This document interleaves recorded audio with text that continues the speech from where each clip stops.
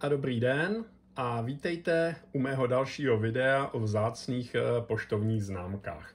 Dnes jsem si pro vás připravil eh, nějaké hezké série opět britských koloniálních známek.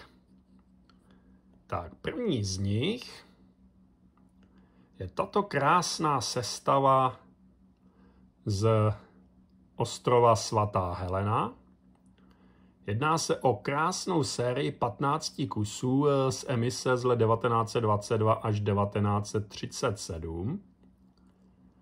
A známky mají zoubkování 14 a průsvitku script CA. Všechny jsou s velkou částí původního lepu. Eh, jedná se o katalogová čísla podle Gibbonse 97 až 112 a katalogová hodnota je v současné době něco přes 400 britských liber.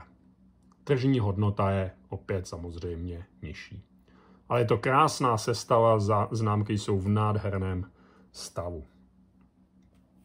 A ještě tady mám podobnou sestavu, nebo podobně velikou, je dokonce trošku větší. A jsou to známky ze Seychelles, Indický oceán.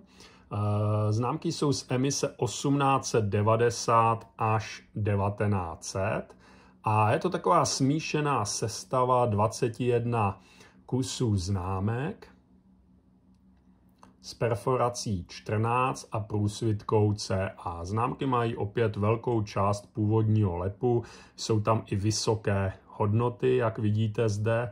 Známky jsou v krásném stavu a jedná se o katalog, takovou sestavu z katalogových čísel 3 eh, až 36 podle Gibbonse.